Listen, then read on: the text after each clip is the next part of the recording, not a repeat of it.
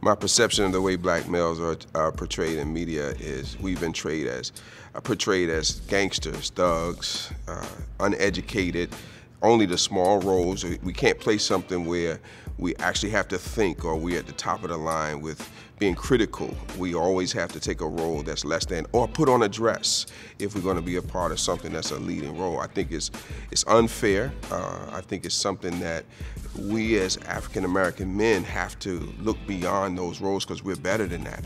And these are something that we have to demand moving forward. I think that black males are portrayed as such by the media consistently. I think certain networks decide to look at males in a certain way. Uh, they have an image of what they think is going to sell, and as African Americans, we tend to buy exactly what they stereotype us as, and so we got to change that narrative and uh, not allow media to decide which direction we're going to go, but decide ourselves which direction we want to play in the roles that we want black males have to say no to roles that don't fit us. We have to be willing to stand up no matter what the cost is, no matter how much money is involved, we have to take a stand in order to make changes happen. You look at social media and these people who are becoming these uh, viral videos that are out there and they're paying them to be buffoons. You know, we work hard to get away from being, from the buffoonery. We work hard to get away from the black faces and white lips and red lipstick on. And so we cannot dummy down for a check. Stop selling out for a check.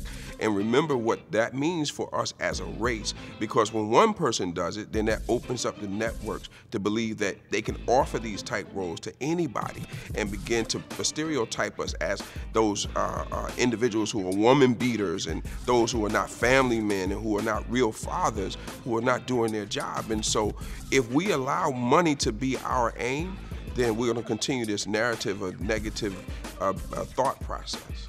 I change the narrative means a lot to me. As an African American man, it's my responsibility to be the I change the narrative in my community.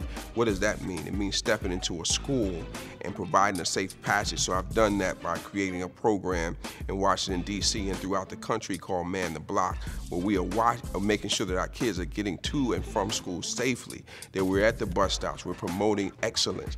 I am uh, change the narrative is one of those things that I started my own school because I saw the bureaucracy in the traditional public school system that were using our kids as pawns and nobody was using their voice to stand up because they were selling out for a check.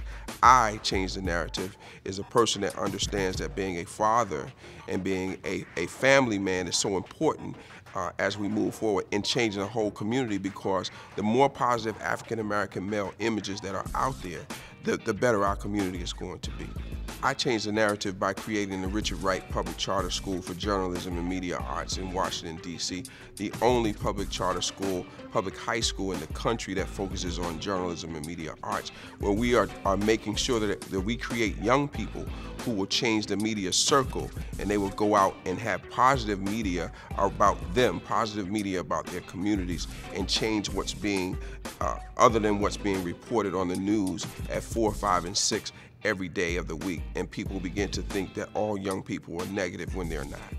We can change media perceptions of black males by being more black males being involved in positivity, showing more images of African American males being very positive, being involved with everything and refusing to post negative images out there. People can't uh, report negative images if we don't allow them to. So we have to be controllers of that, ensuring that even though it looks fun or it was fun, don't put it out for the world to see, but put those images out there that will help change the narrative of what we're doing.